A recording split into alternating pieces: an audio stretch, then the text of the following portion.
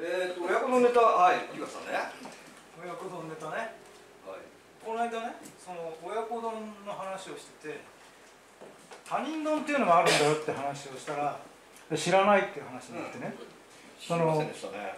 鶏の親子が鶏肉と卵が普通の親子なんで他人丼っていうのはあちょっと待ってその前に海鮮親子丼があるんだよって話がある。んだよ海海鮮親子丼っていうの知ってるって話になったら知らない。知ってます？海鮮親子知らないですよね。あ知らない。知らない。みんな知らないんですよ。知らないそう魚の親と子だから鮭とイクラが乗ってると海鮮親子丼って。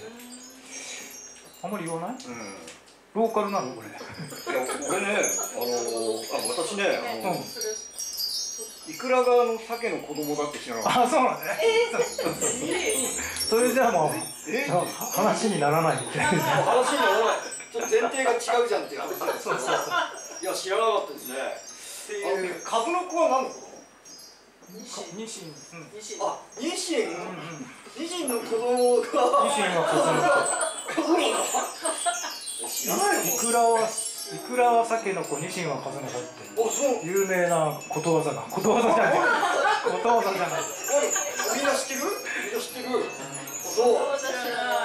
知らないあそう。なんていう話があってでその後にいや他人丼っていうのもあるんだと。うんうんうん。で一番ノーマルな他人丼は豚と卵か。そうですね。それが普通の他人丼だよね。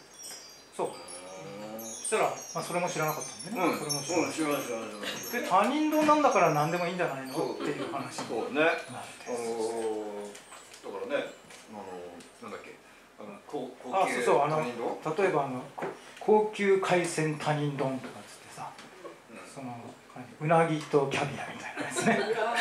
映えるんじゃないなとかさ。むなんか無限のあのね組み合わせがありますうまいかどうかは別としてねであのねあの前回あの大好評だったあの、何ウエストサンライズアピアランスあい。や1で食い合わせの話じゃないですか。で食い合わせであのねうなぎとスイカと実か天ぷらとスイカ？うん。ねあの嫌がらせで あの食い合わせ悪いやつをね他人丼ですって言って出してくるような嫌がらせがありえるんじゃないかと。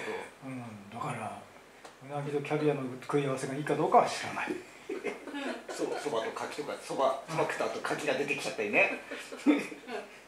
ちなみに僕はあのこの間ねベーコンあの前回ベーコンとあの、ほうれん草が食い合わせ悪いって話したと思うんですけど、ままんまとこの間サラダ買っちゃって。あこれダメだよ。普通に売ってる売ってる売ってる売ってる、うんね、ちょっと発がん性が出るという。ねあのやつなんですけどまあ気にするレベルじゃないだろうなと思うんですよ、ええ。というわけでうん。というわけで親子丼に他人の他あ他人丼にか関係してっていう曲をね、そうえーストレンジャー。ズということで他人同士になってしまったという。歌をやります。ちょっと無理やり言う。んですけど